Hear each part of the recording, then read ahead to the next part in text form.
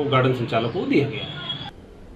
प्रदेश में पहली बार प्रदेश सरकार के उच्च शिक्षा मंत्रालय ने कॉलेज चलो अभियान की शुरुआत की है, जिसके तहत शासकीय महाविद्यालय के प्राचार्य और प्रोफेसर कक्षा बारहवीं पास विद्यार्थियों और अभिभावकों से संपर्क कर शासकीय महाविद्यालय में प्रवेश लेने के लिए प्रेरित कर रहे हैं। सुभद्रा शर्मा महाविद्यालय गंज बासोदा के प्राचार्य डॉक्टर इंदिवर जैन ने बताया कि कॉलेज चलो अभियान के अंतर्गत ग्रामीण अंचलों में कक्षा बारहवीं पास विद्यार्थियों को कॉलेज में प्रवेश लेने के लिए प्रेरित किया जा रहा है।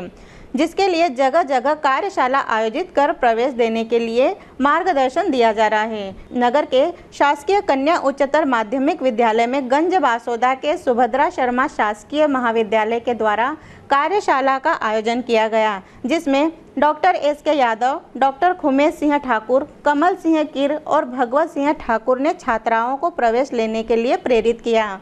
कॉलेज में प्रवेश लेने के लिए निर्धारित प्रक्रिया के बारे में गहन जानकारी दी, जिसमें सरकार की विद्यार्थियों के हित में संचालित विभिन्न योजनाओं की जानकारी भी दी। कुरवई से आशीष सहले